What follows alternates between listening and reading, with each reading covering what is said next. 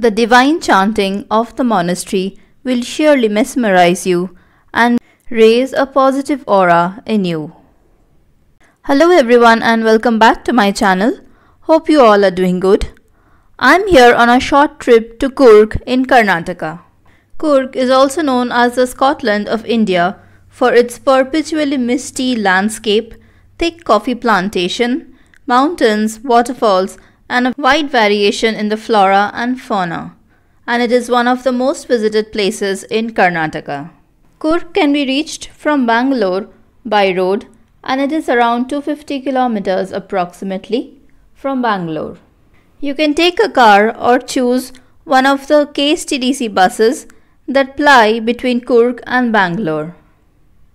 The journey from Bangalore to Coorg is very beautiful through the lush green Western Ghats.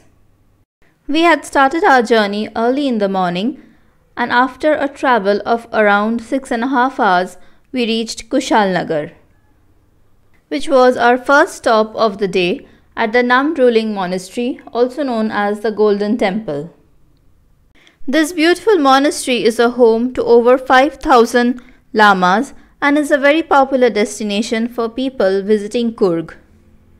We reached the monastery just in time for a prayer service and witnessed an auspicious ceremony of a prayer service at the monastery.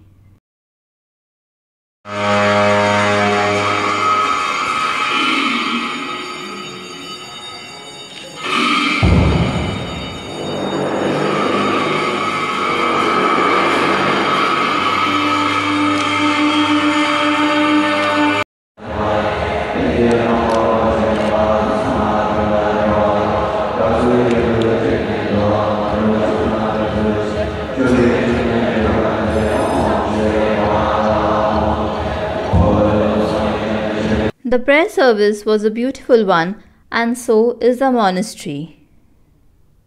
After visiting this beautiful and very famous monastery, we had a quick lunch and then moved towards our next destination, Abbey Falls. Abbey Falls is located amidst thick spice and coffee plantation with a variety of flora and fauna all over. Abbey Falls is a must visit place in Coorg and hence very crowded. Your bus or car will drop you at the gate of the falls and you have to trek down few stairs through the thick coffee and spice plantation to reach the falls. As you trek down, you can hear a variety of sounds of insects and birds, some known, some unknown, all around you. The sound was so loud all around that we could not hear each other talking. Trust me, it was so loud.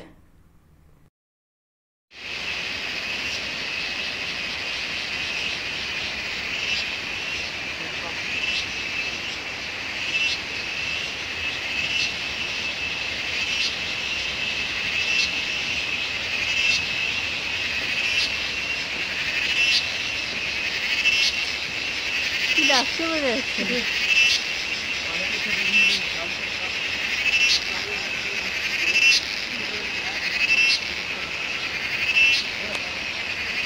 times we heard something moving in the bush but did not look back and continued our journey down to the falls. You can see the falls from a distance and do not have to go all the way down if you want to avoid crowd. The best time to visit Coorg and Abbey Falls is definitely during the monsoon season. With misty mountains, cool rainy breeze and few spells of shower every now and then, Coorg can be enjoyed at its best during the monsoon. After Abbey Falls, we en route to our last destination of the day, the Raja's Seat. The Raja's Seat is a seasonal garden of flowers and fountains with a panoramic view of the valley below. The sunset can be enjoyed from the Raja's seat. However, due to the cloudy weather, we could not catch the setting sun, but definitely enjoyed the cool breeze and the panoramic view below. Raja's seat is also famous among the locals and they often come in the evening and enjoy the cool breeze and the serene beauty around along with their friends or family. As we reached Raja's seat, it started drizzling and we enjoyed this view with the light drizzle. After the whole day's journey, finally it was time to en route to our hotel, Hotel Mayura at Talakaveri. The drive from Raja Seat to the Hotel Mayura Talakaveri was a long one and it was raining cats and dogs. The road was narrow, muddy and pitch dark while we travelled to our hotel. We reached our hotel quite late at night and had a quick dinner before we rested for the day. Next morning, we would start early to go to Talakaveri and Bagmandala before going back to Bangalore. I hope you enjoyed this video and if you have, hit the like button and subscribe to my channel. In my next video of Coorg, I'll take you to Bagmandala and Talakaveri and show you around to help you plan your Coorg trip in the best way possible. And until we meet again, do take care and bye bye.